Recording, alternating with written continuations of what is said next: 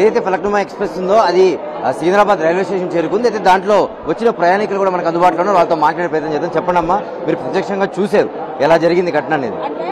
ఎలా జరిగింది? S four లోన పొగ వస్తుంది అనేసి అందరూ అనుకుంటున్నారు. అంటే మామూలుగా నేను మామూలు కూర్చొని ఎప్పుడులాగా మాకు ఓం శాంతి పాట వస్తుంది. ఆ పాట వింటూ వాటర్ తాగేసి దించేసి కూర్చున్నాం మట వేసుకొని ఇంకా వెళ్ళేసరికి గంట అవుతుంది కదా టైం అనేసి. తీరా మేము చూసేసరికి అందరూ ఆ, దువారే చలియే చలియే గాడి చ- చ- బండికి వెళ్ళిపోతుందని వాళ్ళు తొందరలో చెప్పారు. కాబట్టి సరే అని అలా చూసేసరికి పొగ బాగా వచ్చిందనమాట. ఈ పొగ రావడము ఒక చేతితో చెప్పులు ఒక చేతితో ఒక ఇది ఒక బ్యాగ్ పట్టుకొని మేము దిగిపోయామన్నమాట గబగబా.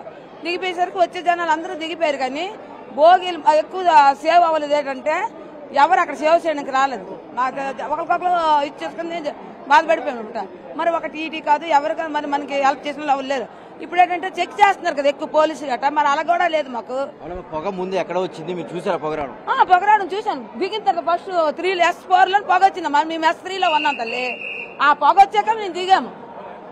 పొగ వచ్చాక దిగాం తల్లి. అందరూ ప్రాణభయంతో బయటకు వచ్చారు బుక్కి బుక్కుమంటూ అని చెప్పి తెలుస్తానే ఉంది. మంటలు కూడా మంటల నుంచి కూడా చాలా మంది దూకేశారు బయటికి. ట్రైన్ నుంచి. దూకేసాము రైలు నుంచి దూకేసాం కానీ మాకు నేను ఓం శాంతి పెట్టిన గట్టి నాకు బాబా పట్టుకున్నారు అనుకుని దూకేశాం. ఎక్కేటప్పుడు ఇక ఇద్దరు బయలు లాగేసి తీసుకెళ్ళారు మీదకి.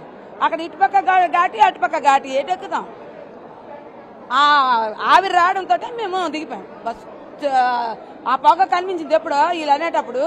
దువారే దువారే అంటే తొలి లేగలేదు. చాలా చాలా అంటే. ఇప్పుడు రాలే కదా ఊరు. వాళ్ళు దిగుతున్నారు కదా అనుకున్నాను. దెబ్బలు ఏమైనా దూకిన తర్వాత దెబ్బలు ఏమైనా మీకు? నాకా?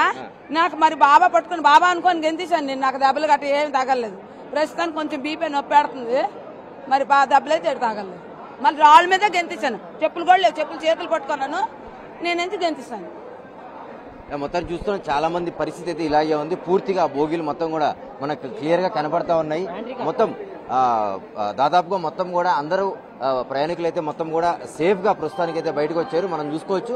మొత్తం కూడా ఏదే రైల్వే అధికారులు మొత్తం కూడా ఒకసారి లోపలికి ఎక్కి మొత్తం చెక్ చేస్తున్న పరిస్థితులు అయితే మనకు కనబడతా ఉన్నాయి. మనం ఎన్టీవీ స్క్రీన్ మీద చూసుకోవచ్చు.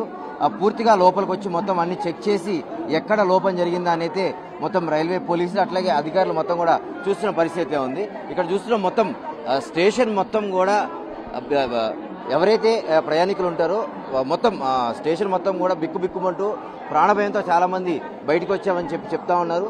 చాలామంది మంటలో నుంచి దూకేస్తున్న పరిస్థితి కూడా కనపడతానే ఉంది. మనం చూస్తున్నాం విజువల్స్లో క్లియర్గా మనం చూస్తున్నాం విజువల్స్లో క్లియర్గా పూర్తిగా పూర్తిగా అందరైతే సేఫ్గా ప్రస్తుతానికి అయితే సికింద్రాబాద్ రైల్వే స్టేషన్కి చేరుకోవడం జరిగింది. ఇక్కడ నుంచి అధికారులందరూ కూడా వాళ్ళ వాళ్ళ గమ్యస్థానాలకి చేరుస్తున్న పరిస్థితి ఇక్కడ కనబడుతుంది. కెమెరా పర్సన్ గణేష్తో భార్గవ ఏంటివి సికింద్రాబాద్.